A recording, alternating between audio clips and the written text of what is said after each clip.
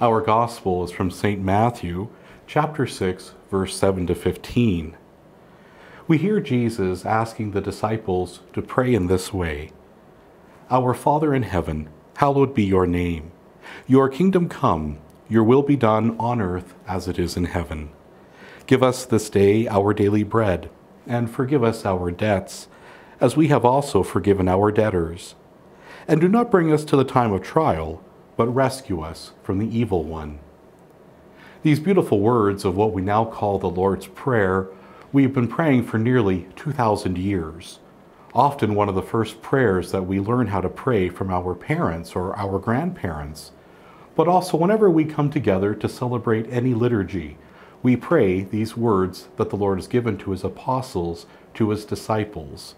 It is that prayer in which we have the source and the summit of so much of who we are as God's people, that we are called to forgive as God has forgiven us.